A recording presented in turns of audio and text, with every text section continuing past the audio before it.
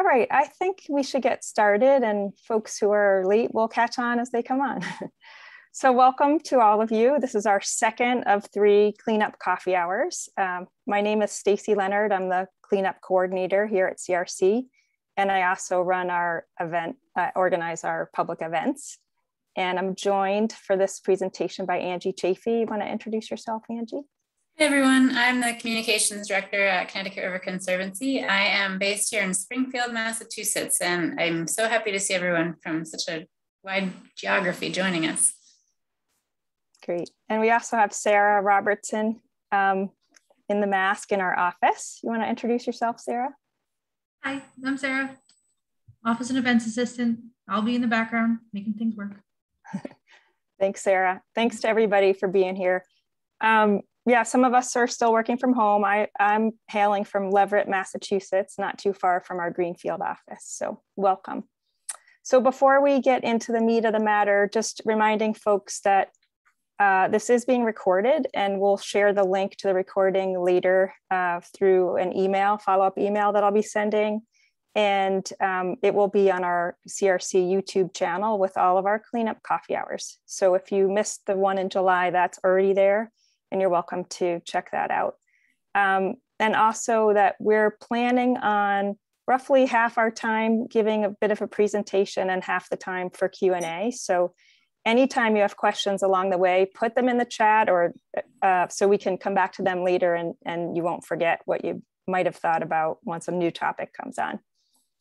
So um, yeah, the Q&A part is really helpful. We have a mix of uh, returning seasoned group leaders and folks who are new. So um, it's a great time for sharing everybody's experience. All right, so um, just a quickie uh, review of why we're here. Um, this is our 25th year, and while each of us have, have not been part of it for all those 25, um, Angie and I have a lot of experience to share from the years we have been here, and so do all of you. So our goal is to support your efforts in, in leading a group, to share lots of tips that we have, and to hear from your experiences and, and share all the way around. Um, and as I said before, have ample time for Q&A. Um, today, our special deep dive is going to be around the topic of trash uh, collecting, disposing, recycling, and tallying, and uh, why all these things are important. So I'll start with a quick little overview of, um, of the cleanup for those who weren't here last time, and then we'll dive into these, these topics about the trash. And as I said, Q&A. um, so very briefly, um, we have traditionally run the cleanup on the last weekend of September, and we, we are planning to do that again and invite people to come out on that day. And um, nicely, the 25th of September coincides with our 25th year. So if you choose that date, um, you'll be right on target. But we also welcome people to come out any day that works for you and to plan a trip. A trip. yes, it is a trip to plan a cleanup that works best for you and your group. Um, we have a slightly new registration process and we normally would have that live and ready to run for everybody, but we're having some delays with that because we have a new web development team. So that is imminently coming. So we really appreciate your patience um, and we'll be um, hopefully live by early next week. And it, will be a, a, fairly simplified, much simplified two-step process where you'll um, everyone will register and sign a waiver and get all that paperwork done online. And then the second step as a group leader will be to select your site.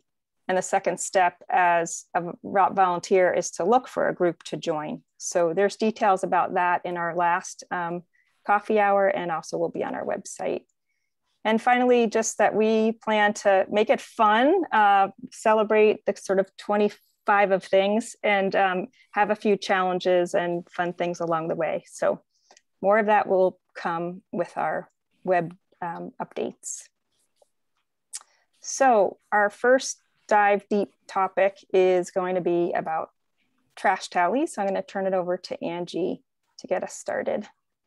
Great, thanks, Stacy. And I just want to note another fun thing that we are doing again this year is the River Witness uh, campaign, which we started last year. So you can share your photos and videos and artwork online on social media using the hashtag River Witness. That was really fun last year, and we are excited to do it again. So, tallying trash, why do we do it? It is one of the most important parts of the source to sea cleanup, and that's why we are starting here. It's important because you can't change or improve the problem until you measure the problem. So, knowing exactly how much trash is being collected and found, what types of trash is being collected and found, really gives us an idea of the scope of the problem so that we can better solve the problem of trash in our rivers. Um, this trash data is used in lots of different ways, uh, but some key ways are to help inform laws, legislation, and policies that can keep this trash out of our rivers in the first place, prevent it from even getting into the rivers. Um, this has been done for things like mattresses, tires, um, plastic bottles, and, and, other types of beverage containers.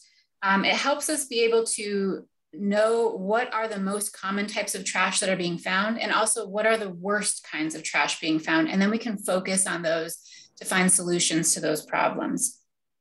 Most recently, some of this trash data was used to help update the bottle bill in the state of Connecticut. The bill was expanded to include lots of different types of beverage containers, and we were able to supply those decision makers with some of the data from our cleanups over the past two decades to give them an idea of exactly the scope of the problem.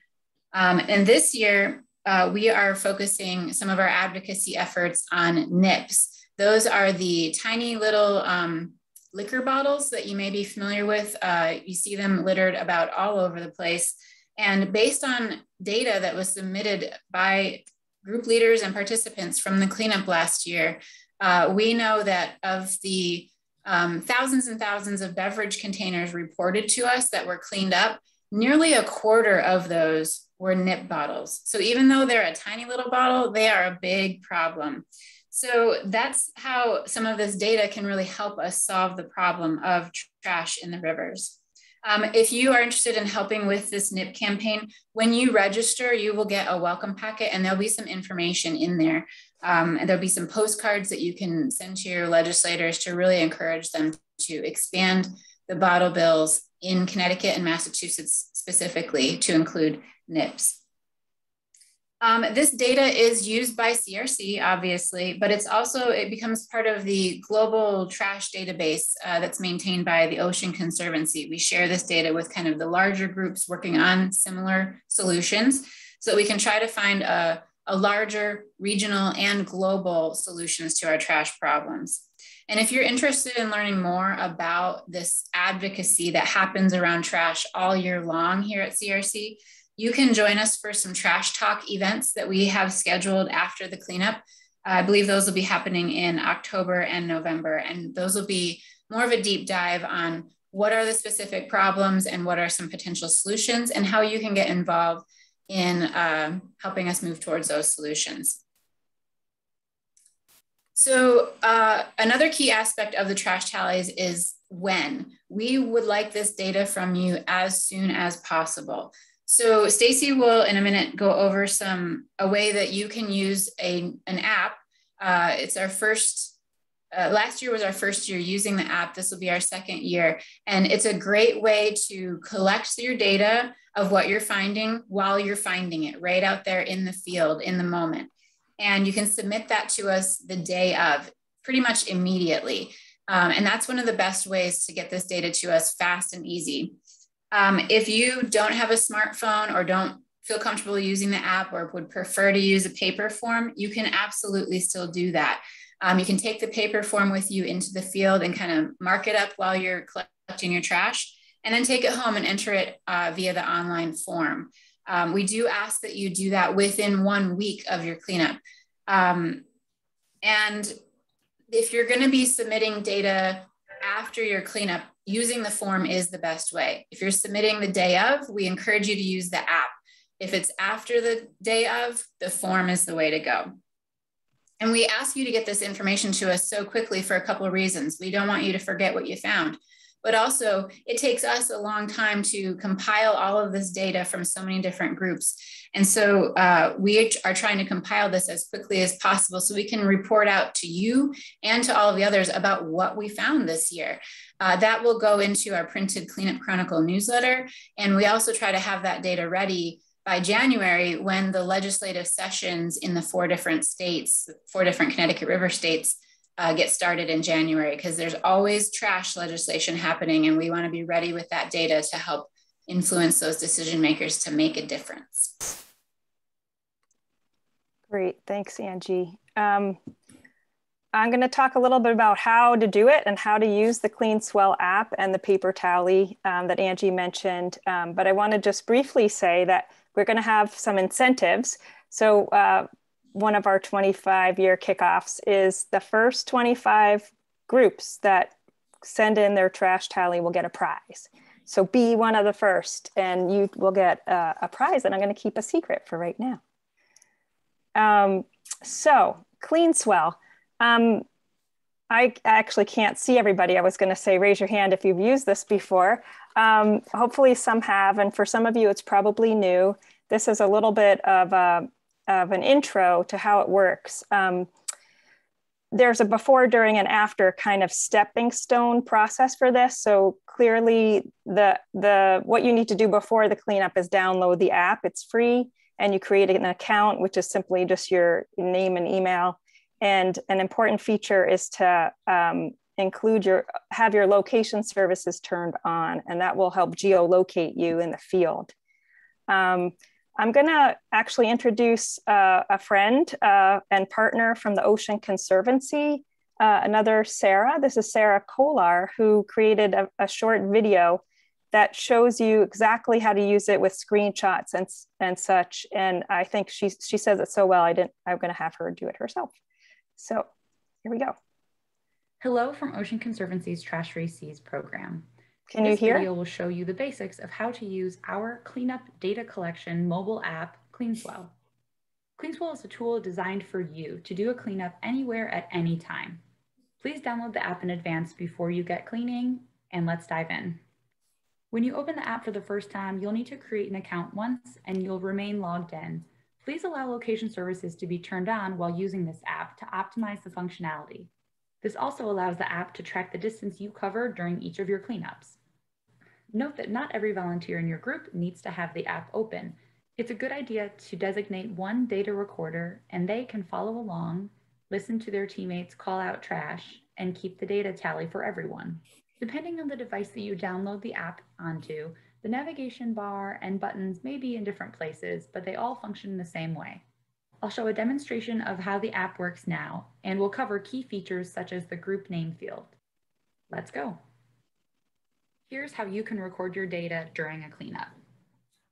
Click on Start Collecting. Provide basic information about your cleanup. Group name is important. This is how you can tag your individual cleanup effort to a larger group. Group name is not case sensitive, but try your best to get the spelling correct. This is the collection screen. As a data recorder, it's best to let your teammates handle the trash and wear gloves. You can follow along using the app without gloves and tap on the icons as you hear them called out by your teammates. For example, two food wrappers, one plastic bag, three straws. You'll see that each trash category is being tallied in the top right corner. To record high quantities of a particular item collected, such as plastic or foam pieces, Hold down on that icon with your fingertip for a couple of seconds and this window will appear. This is where you can add any amount to your running tally. You'll see the tally updates in the top right corner of that icon. Any items that don't have a specific category can be logged in the bottom right category of other trash. If you accidentally clicked on an item and you need to subtract it from your tally, go to the bottom and tap on the toggle to remove an item the icon color will change and you can tap on that icon to subtract from your total tally. When your cleanup is finished, scroll to the bottom, click on Done Collecting. Review your cleanup on the screen here. The weight is calculated using predetermined weights for each individual item on the collection screen. You can adjust this if it does not seem accurate. The comments field is to note anything you'd like about your cleanup, from strange or interesting finds to items of local concern to any wildlife that you may have found entangled in debris. Again, there's one more chance to adjust any of the initial information that you provided, including that group name. And when you feel set, click Submit My Data.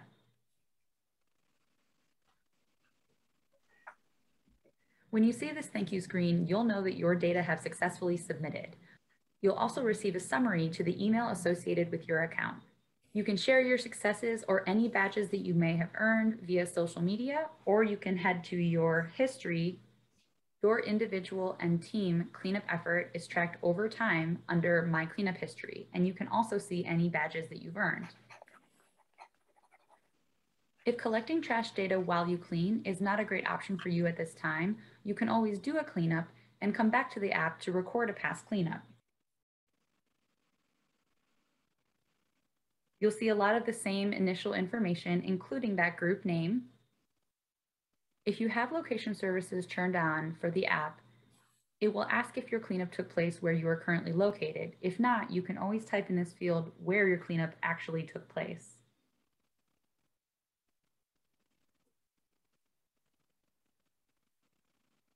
Once you have cleanup location set, scroll down and instead of asking for item by item data, this portion of the app simply asks for how many bags of trash you collected in total. You can indicate the size of bag and how many of each of those sizes you collected. Again, if you accidentally tapped an icon and you need to remove from your tally, the toggle is below the icons. If you are uncertain about the total volume of trash collected, you can see weight estimates below each icon, or if you do happen to know the total weight of trash collected, you can indicate that in the text field below. Once you feel set with your cleanup information, click Submit My Data. Again, you'll see a thank you screen and you'll receive a summary email to the email address associated with your CleanSwell account. Thank you for trying out CleanSwell. Remember to stay safe during all of your cleanup events and feel free to reach out to our team at cleanup at oceanconservancy.org if you have any questions. Oops, didn't mean to cut her off. Um, Oops, sorry, don't want to go that fast. Um, so I think that was a great summary and really helps um, walk you through what happens when you when you are looking at the app because it can be a little bit confusing. And I just wanted to underscore um, a couple of a couple of items. One is about uh, group name. When you turn on your CleanSwell app and you're in the Connecticut River watershed, uh, it will automatically pre-populate your group name to say CRC in the in the front. CRC. Uh, what you can do is then keep CRC and put a dash and then add your own group name. And that way you'll be counted in the CRC count and be identified as your own group. And um, if you forget to do that, it's not critical because you are located with the geolocator. So we'll know you're in the watershed, but it does help us sort through um, all the groups more easily at the end. So keep that in mind. Um, the other thing about CleanSwell is that it's in real time. So um, as Angie mentioned before, uh, this is a great way to get your data to us really fast. And um, once you're you're done, you're done. You don't have to go back and do more. Um, there, I wanted to clarify um, what she was talking about, a record a past uh, cleanup as compared to what Angie mentioned about using the paper form. And you really can, you have the options, but when you record a past cleanup with CleanSwell, as you noticed, you can't itemize. Um, you can only itemize if you if you hit collect data and you do the itemized one, and then that, but that's going to count your geolocator wherever you are physically in the moment. So uh, you can't adjust that when you get back later. Um, you can always call us and we can adjust it if needed, but I just wanted to clarify on that. Um, and I, um, the last thing about CleanSwell also, which I sort of forgot about until I watched the video a couple of times, um, that there is a history. So if you're cleaning up over time, over, over the years, you also can have your own tally yourself. And that's a nice record of your group's uh, work over time. Um, I wanted to also just say a word about using the paper tallies though, because it, it certainly is a preference for a lot of folks uh, to not have to worry about an app and having a phone in the field. Um, and you're welcome to use the paper tallies. Um, the paper tally will have the same information on it as CleanSwell for the most part. We have a couple of what we call items of local concern um, that are itemized on our paper form, which are not itemized on the app. And that is because the app is covering the whole world. So the Ocean Conservancy has made this app and kind of found the common denominator with uh, cleanups that exist in many different countries. And many of them are ocean based and have different they're just getting different um, items than we find in our rivers.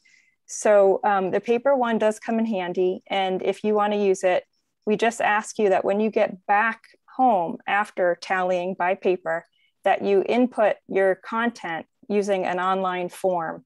And we have all of this on our website and you'll get all of these links in the confirmation email that comes to you after you register. So, and it, everything will be on online. So um, it, it helps us if you that priority one to do it online so we're not trying to um, decipher different people's handwriting that's really what's difficult about the paper ones and it takes a lot longer for us to to collate you know a 100 different forms um, when each person could do their own so if if you can do that we'd really appreciate that um, so uh, you probably have questions about that so hold on to those but um, I think we're going to move on. Let me just make sure I didn't miss anything.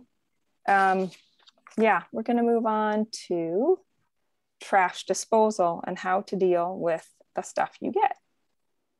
So I'm going to turn it back to Angie. So there, we just wanted to share a couple of options, optional options uh, for you to consider uh, to go green with your cleanup and to help reduce the climate impact of your cleanup.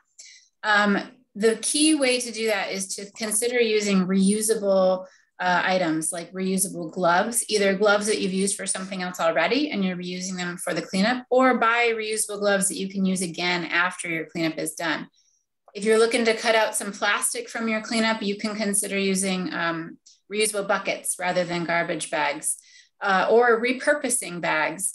Uh, things like bird seed bags or other animal feeds wood pellet bags, or um, if you have a brewery local to you, their hops bags or grain bags are often very heavy duty and they're happy to share them to be reused and repurposed in this way. Uh, they're great, a great tool to, to use during your cleanup, uh, can hold lots of heavy duty trash. Um, and then we also encourage you to recycle as much as possible the trash that you pick up. Um, and there's a couple of ways that you can do that. Two easy ways. One is to carry two different trash bags or buckets with you. So consider using a clear bag for your recyclables and a black or another colored bag for your trash items. Um, and that way you're separating things right as you go. Or if separating as you go is a little bit cumbersome, you can consider doing a big sort at the end. So you come back after you've picked up your trash, dump everything out, pull out the recyclables, and then dispose of your waste. And that's another perfect time to be counting the trash that you've uh, picked up and be entering it either into the app or on your, your tally form. Uh, to help reduce the climate impact of your cleanup, consider the transportation, how you're getting there, um, and how your volunteers are getting there. Uh, key, a key aspect of this is to find a cleanup that's near you, so you're not traveling very far, and consider walking, biking, or using public transportation to get there or you could consider carpooling with your friends or family. Um, and we will have uh, more tips for going green and being climate friendly on our website um, that you can find as you're planning your cleanup. Um, what's next, Stacy?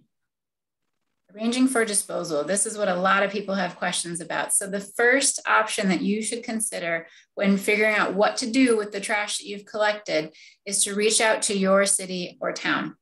Um, a lot of times, these towns are so happy to have the help to clean up the community that they are very happy to help you in disposing of that trash. You could consider reaching out to your local transfer station, Department of Public Works, or your Parks and Rec department. A lot of times they are they have staff available that could come pick up the trash either on the day of your cleanup or the following Monday. Um, or they may be willing to waive fees when you bring that trash, drop it off at the transfer station. So first line of support is to contact your town and see what they're willing to do. We have found that towns all across the four states are very happy to help out. Yeah, I think I'll just chime in that um, I worked with a group of folks in my town in Leverett, Mass. Uh, this spring, we organized an Earth Day cleanup and we contacted our transfer station and they were all over it. Please bring in the trash, all for free. And we'll bring our um, highway department will come pick up anything that you find that is too heavy to bring or that people can't bring. Leave it on the side of the road and we'll pick it up Monday morning. So we're in essence as volunteers you're, you're really helping the town get get the work done that they don't may not have staff to do. So it's a win-win all around. So i, I wouldn't be shy about contacting your your local folks. Um, we also have on our website a list of towns and some of the bigger cities that have been repeat helpers all through the years. So if your town or city is on that list uh, you can be pretty assured that they're already they're already there to help um, but be sure that you're mentioning um, with the cleanup, um, with the Source to Sea cleanup when you call and Connecticut River Conservancy. Um, and um, I want to also mention another option for some of our big sites. Um, so if you're going to a big park or you you go to a place where you know there are a bunch of groups uh, fan out across a wide terrain, we often have ability to have dumpsters um, brought to those locations. And thanks to one of our lead sponsors is USA Waste and Recycling. And I see John Locke is here as one of the group leaders for one of those groups. Um, we're really grateful to have them. They have offered uh, dumpster support. Uh, they'll bring a dumpster to a site um, if it's warranted to be, have you know a large amount of trash that couldn't otherwise be just put in somebody's car to be taken away. So if you need support or think that you're a site that is large enough to warrant a dumpster, uh, the first thing is to go on our website and look in that section about dis trash disposal, and you'll see a list of dumpsters that are already committed. And then if you don't see yours there, um, the staff person at USA is April Regan, and her contact info is there. And you can also contact me, and I can help support anybody who needs help. Um, so next, um, we're going to talk a little bit about hazardous materials. So the main thing to think about with hazardous materials is safety first. We want you to stay safe during this cleanup and we do not want you to put yourself at risk. So if you see anything during your cleanup that has a warning label or a, a warning symbol on it, or if it's leaking, it just looks weird and scary, leave it alone. You do not need to pick up something that concerns you. Um, and you can report that to us. Uh, we do have a hazardous material form, I believe, that you can fill out, or you can also contact your state directly. And we have contact information for each of the four states on our website where you can report hazardous materials um, or an emergency spill.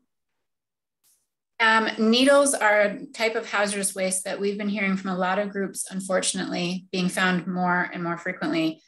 Um, and again, if you are not comfortable picking up needles, don't. You can certainly call your local police department and they will gladly come out and handle that for you.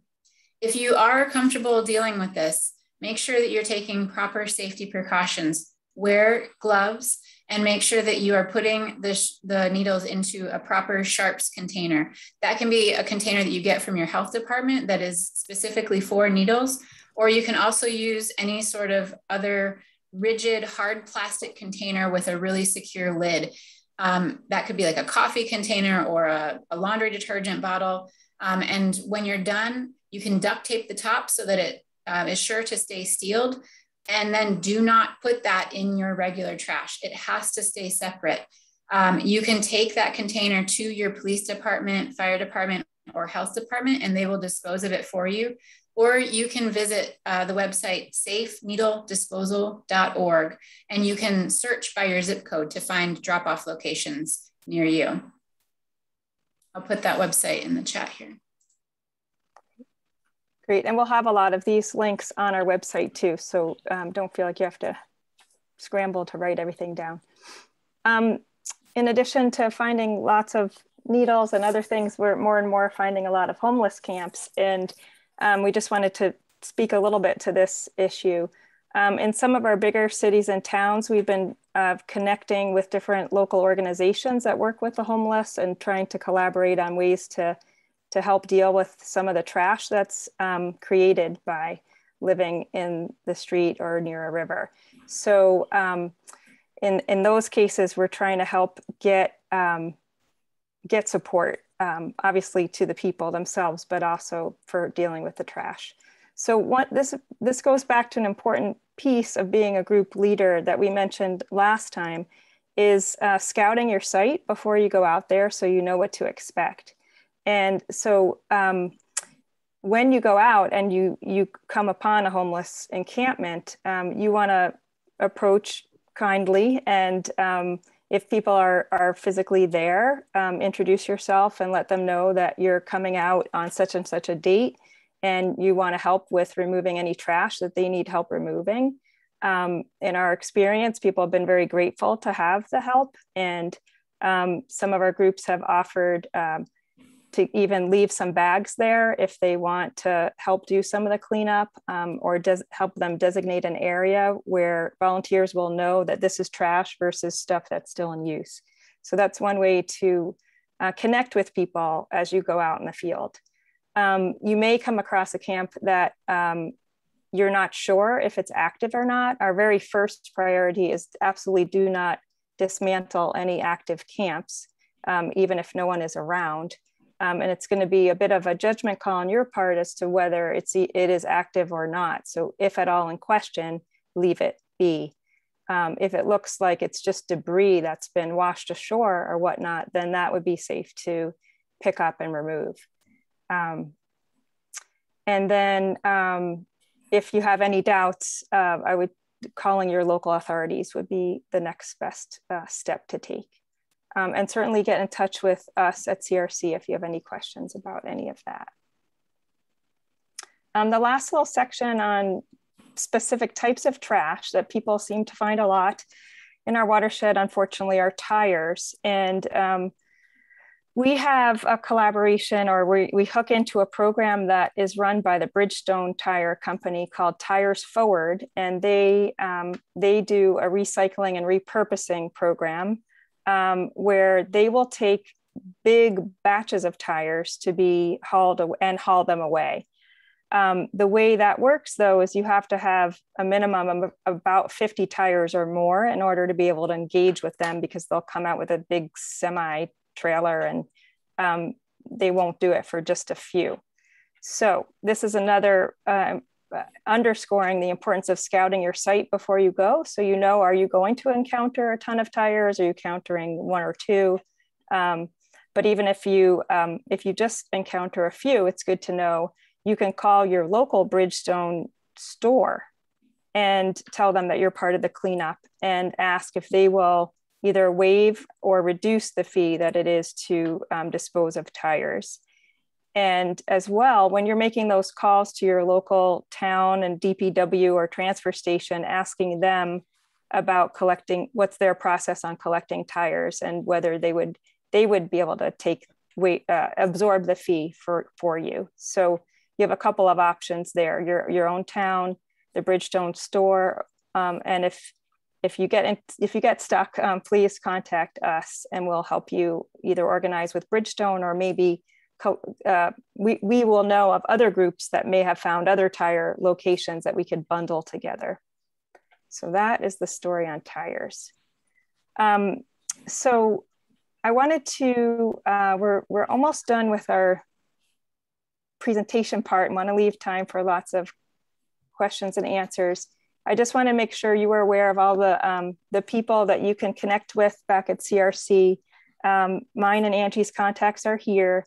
And our three river stewards, if you're not familiar, we do have a river steward in each region, and they are the best point of contact for very site specific questions. Um, if you're not sure within your region where to go, after looking at our resources online, we have maps and whatnot, um, they would be your, your contacts. Um, I am sort of the, the, the, funnel of all the cleanup um, in my role as cleanup coordinator. So if you have any questions, probably the first step is to contact me and I can help direct you. So um, we're gonna move into our advice and Q&A time. So I'm gonna stop sharing and see if we can see everybody who's here. Uh, open up the chat which I haven't been able to see while you're during the presentation and um, see if we can start tackling some questions. Good to see everybody. Uh, let's go in gallery view. Okay. So um, I don't know if Angie were able to see any questions coming up first. So we had one question come in uh, wondering if you can still use the CleanSwell app even if you go out on a different date or weekend, and that's you certainly can. Um, you can use the CleanSwell app anytime that you go out to clean. And that's kind of what makes the CleanSwell really useful because if you go, especially if you go later, your your info is coming in in real time, and so we'll we'll get it right away, and that saves a lot of time on the tally process.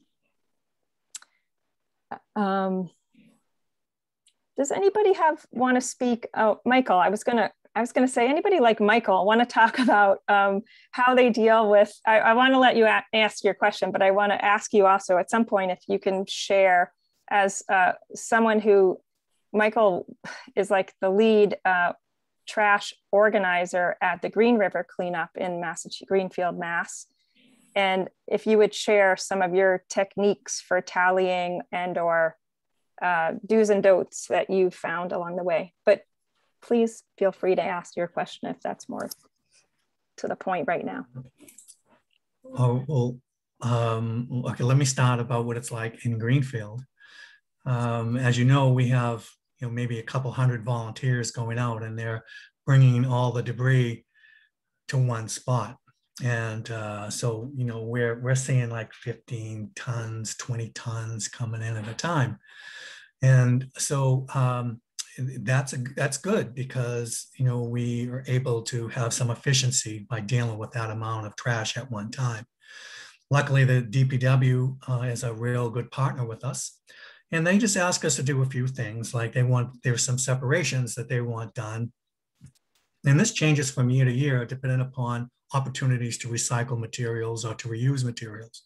So, for instance, uh, in previous years, they've had us you know, put trash piles together, but to pull out wood waste, to pull out metal, to pull out electronics, of course, hazardous waste. And for a number of years, they had us pulling out rigid plastics.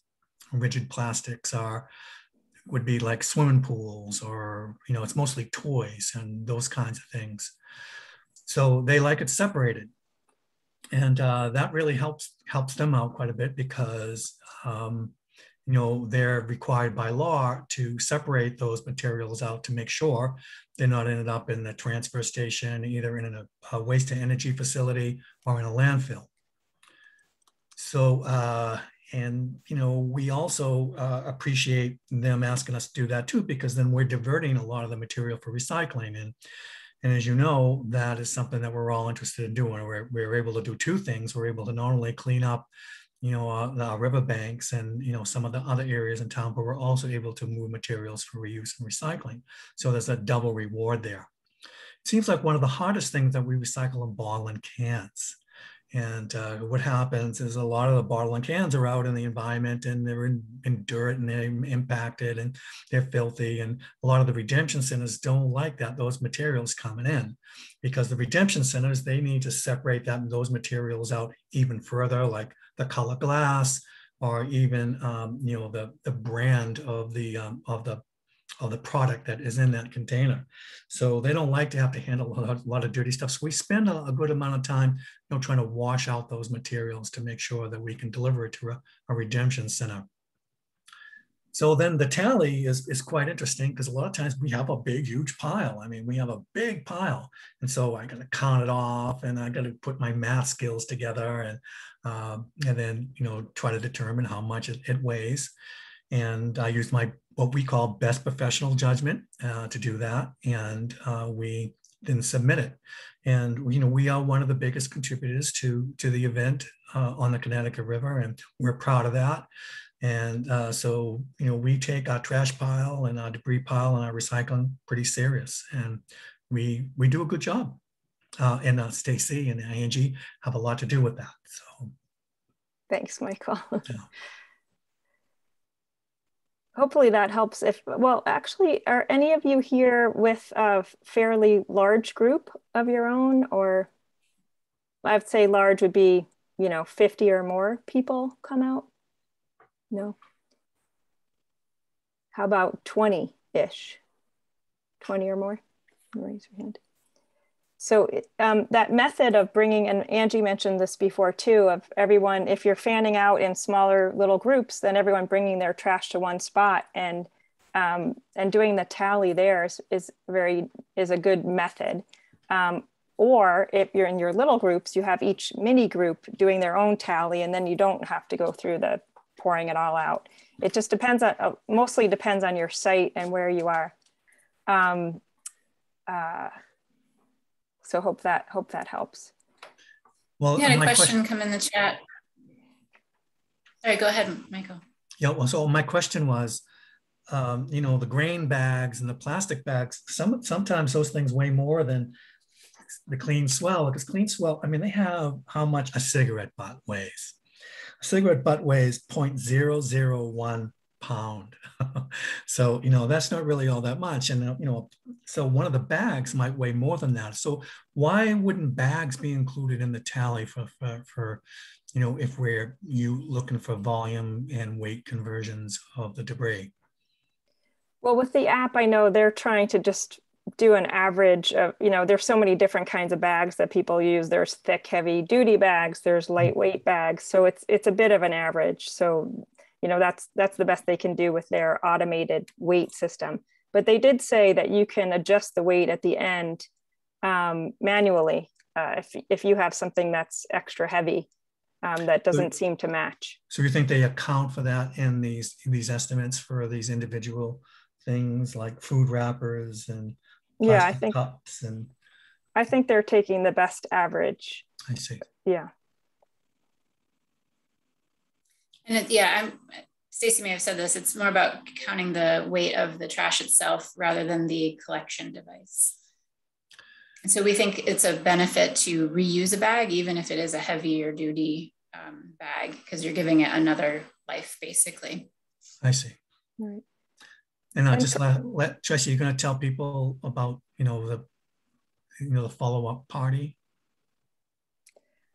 you, know, you have me working on that a, a bit too. So you know, I wanted, wanted, to make well, sure you mentioned, I don't know um, if these folks are going to be invited or not, but everyone's invited to everyone. wherever they can go, though people here are from all over the watershed. So this is not a Greenfield based um, conversation. Right. We have people from Connecticut and New Hampshire and Vermont. Um, so, but maybe that's a plug to say if you're a, a group leader, you can also organize your own uh, after party, as we call it, and bring out some food and drink and maybe some music and celebrate your volunteers together and all your hard work. It's a, it's a lot of fun. And if you are near the Greenfield, Mass area, you're welcome to the Green River Cleanup, uh, now called the Four, uh, sorry, the Franklin County Rivers Cleanup to be more inclusive of all the people in the region there, we have um, two other big sites that I'll mention that do do will be doing some kind of hopefully.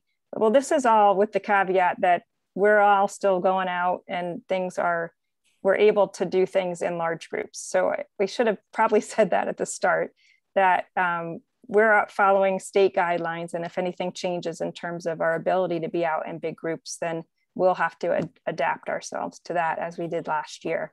Um, but there is a new group in Essex, Connecticut that's forming, and they're planning to have um, a cleanup on the first weekend in October. And there's a group um, in Amherst, Mass, the Four Rivers cleanup that's going to be doing, that's usually a pretty large group. And I think they'll be in Groff Park. So if you're in any of those neighborhoods, um, you're welcome to join. So uh, let's try and get over to some other questions. We've had a couple come through into the chat that um, there's two that are kind of related.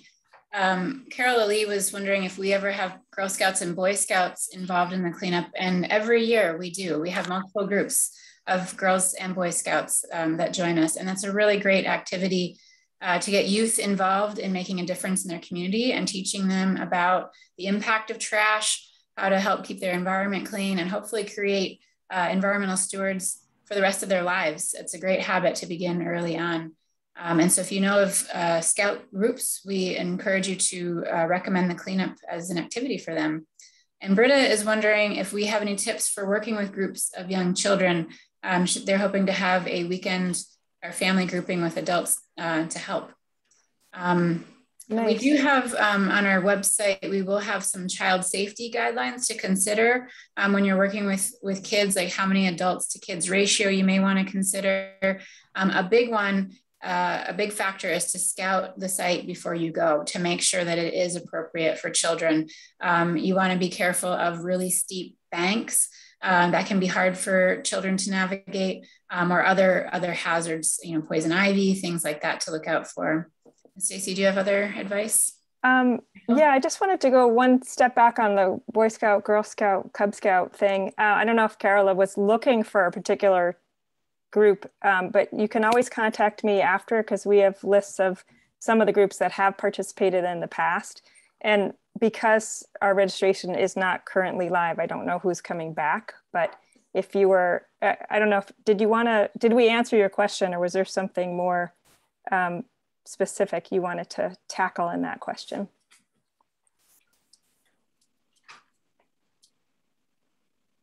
You answered it. Fine, thank you. Oh, okay, great. I'll pass along the information. Okay, wonderful.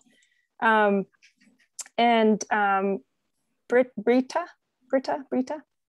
Um, yeah, it's wonderful. Are you a new leader or returning uh, leader with the cleanup? Unofficially, unofficially, uh, we've done it every year, but just just with the family, and I'm working hard on two two different groups. We'll see. Great, that's wonderful. Um, yeah, I guess I would echo the things that Angie said about um, really making sure you have a site that can accommodate young people. And one way that we can help you with that, uh, when you go to our website and look at, if, if you're looking to find a site, uh, we have an adopt a site map. And there is a, an area on that where it lists, is this site suitable for children? And that will say yes or no. And I want to also share that all the all of that information comes from volunteers like you all who go out and may see um, some trash and report it to us. So you, it's still really, really, really important to go and scout those sites because the sites, the situation uh, changes all the time given water levels and rain and, and time. So um, you can use that as a gauge, but then go and check it for yourself. And we do have a, we will have a, a whole page on, on child safety tips. I'm not sure of anything else that comes to mind offhand that Angie didn't mention. If you have any other specific. Uh, that's a, that's a great start. And I'll, um, I'm trying to do this under the umbrella of the school and the school is like, oh, I don't know. See, get there. Right. If not, I'll just drag my family out and make them pick up trash. They love it. Well, the, um, other, a, the nice thing another, too. Oh, sorry. Just to that point about the school. Um, I mean, obviously, the schools are going to do what they feel comfortable, but it is an outdoor event. It's a great event to be able to spread out with. Um, we can still accommodate by wearing masks, and everybody wears gloves.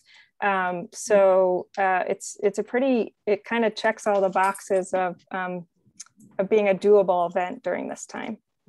Totally. under those considerations. I tried so hard last fall. Anyway, um, on a slightly different note, uh, Envirothon uh, National is doing net zero waste and, and waste management basically this year. Um, so Massachusetts will be looking at net zero solutions for towns for high school teams. Um, mm. And I would assume that Vermont and Connecticut will also be looking at that. I'd be happy if you want to send me some stuff, I will send them on to those state coordinators and I'd love to get it to my Valley teams. Um, I have a lot of teams who aren't in the Connecticut River watershed though.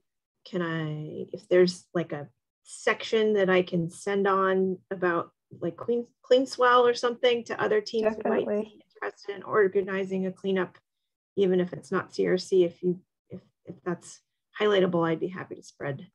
That Yeah, absolutely. That's a yeah, that's a wealth of information. Thank you. Um, we we've been thinking about how can we better reach out to youth and youth youth groups. You know, Mhm. from Cub Scouts, Boy Scouts to schools and beyond, um, families as well.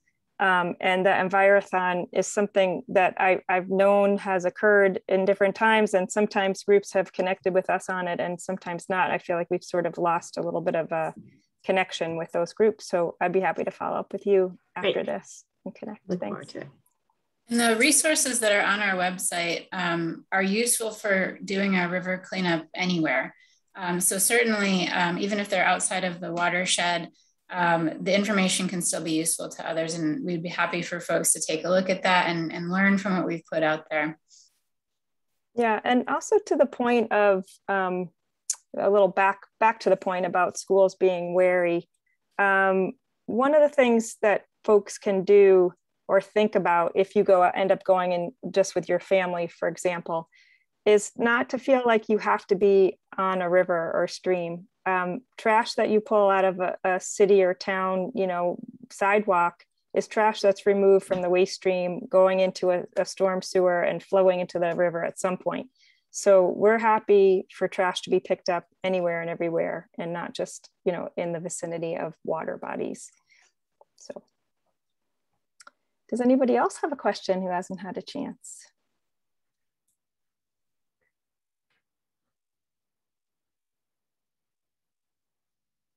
Or does anybody want to share um, an experience that they had in a past cleanup as related to um, this, this topic of uh, sorting trash, recycling, uh, tallying? Have you used our tally materials before? We'd love to hear your thoughts on using CleanSwell or the paper tally. Michael? Know, well, the tires are a little bit tricky because, you know, you have the, you know, they want to know when the date of the, the tire, when the tire was manufactured, because um, they have it grouped into categories because they're claiming that, oh, there are no more old tires out there, you know, but that's just not true. There's plenty of old tires still in the woods So when you, if you have tires, um, it's important to uh, kind of note the date on the tires. And I think there's a form for that, Tracy, right? Uh, for those tires. Uh, well, funny you should mention it. Um, we we had been doing this tire, what we call tire dating process, and we were finding that it was very cumbersome for folks to do. So we are actually discontinuing that for the moment, or um, because the data, um, I think the main purpose of doing it was trying to to uh, underscore to the manufacturers and the other stakeholders that um, illegal dumping is still occurring. And by checking out on uh, the data, the tires, we were able to show that um, there's still new tires being dumped as well as old tires being dumped. And we didn't have a big enough sample to really make a huge impact in that regard. So um, we're not asking people to take on that part of it, Okay. but just collecting and getting them out of the out of the woods and rivers is the most important. But thanks for bringing that up.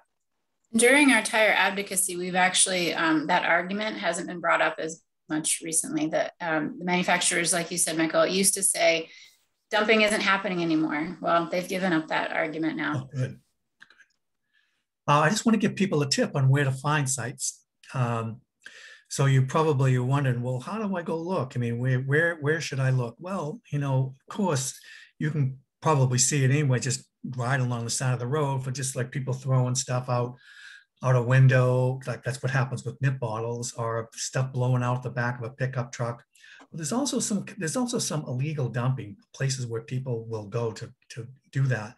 Now, so the thing to look for is if you're in a kind of a, a rural area and you see pull-offs, you know, things where can, people can pull off on the side of the road, either to rest, like check their cell phone, or you know, for whatever reason, there's a pull-off, and sometimes they're pull-offs the town is created, or sometimes it's those are the places where you know to, to really start to look for some for some dumping and some litter That's a good and they're point. they're all over the place. So uh, that's just a tip, one way you might where you might look if you're the one out scouting places. Excellent. Thanks, Michael. Um, I wanted to, we are coming towards the end of the hour, but I wanted to also make sure people knew that our, we're having one more of these coffee hours. It's going to be just sort of not wide open for any questions and topics that you want to raise. And that's on September 9th, I believe. And that's at five o'clock. So we're, we've been experimenting with midday, late day, and after work hours. So I'm hoping that we find a way to uh, reach a lot of different people. So please come on out for that one too. And if you have any particular topics that you want to discuss, you can share here now. You can throw it in the chat um, or as contact us uh, after this. Bye, Rita. Thank you for coming. I know you have to go. And Stacy, I'm willing to give people technical assistance in any way if they need it. You know, if they have questions or if they find something or they want to put another pair of eyes on something and they don't know who to call or look for, that um, if they contact you, go through you, I'd be more happy to get down and take a look at it and help folks. That's a great offer. Thanks so- they. Yeah. Thanks so much, Michael. That's awesome. This, this may be on your website, but um, do you, do you work with conservation commissions? Yes, absolutely.